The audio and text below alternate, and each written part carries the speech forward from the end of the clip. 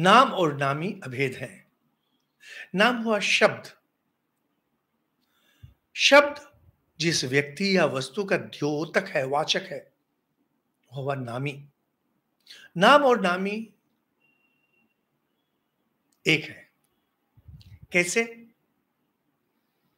यह मैं योग की दृष्टि से स्पष्ट करूँगा आपके सामने। बहुत आसान है। साधारणतः हम लोग सोचते हैं, वस्तु और नाम अलग है। जैसे यह एक कलम है, कलम एक नाम हुआ और कलम एक वस्तु है। हम लोग कहते हैं ना, मीठी बातों से काम थोड़ी ही चलता है, कुछ करना पड़ता है। बातें कम, काम ज़्यादा। हमारी प्रधानमंत्री थी, इंदिरा गांधी जी, उन्होंने यह नारा दिया था। तो सुनने में तो यह बहुत अच्छा लगता है, बातें कम, काम ज़्यादा। लेकिन जब इसे योग की दृष्टि से हम देखते हैं, जब हम इसे मन की दृष्टि से देखते हैं तो मन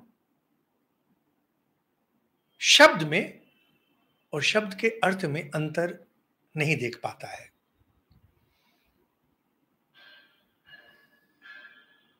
जैसे अभी अगर मैं बोलूँ, अचार। तो देखेंगे आप में से बहुतों के जीप पर पानी आना शुरू हो जाएगा। इमली, खट्टी इमली जीप पर पानी आना शुरू हो गया। कैसे हो गया? हो सकता है आप में से सबको नहीं हो, लेकिन बहुतों को होगा। अगर एक भी व्यक्ति को होता है, इसका अर्थ है कि यह सही है। मन मन शब्द और उससे संबंधित वस्तु में अंतर नहीं कर पाता है। और मन की प्रतिक्रिया दोनों में बराबर होती है। इसीलिए अगर कोई आपको बोले, तुम गधे हो, आप तुरंत गुस्से में आ जाते हैं। कहा जाता है, जख्म तो ठीक हो जाता है, घाव भर जाते हैं, लेकिन शब्द के बने घाव ठीक नहीं होते। क्योंकि जो जख्म होते हैं ना, शरीर पर लगते हैं।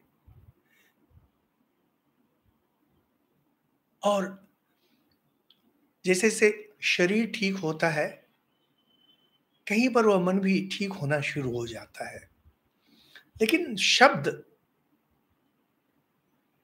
मर्मांतक मार, मर्मांतक चोट नहीं होती है। शब्द मर्मांतक होते हैं। सीधे मन को जाके मारते हैं।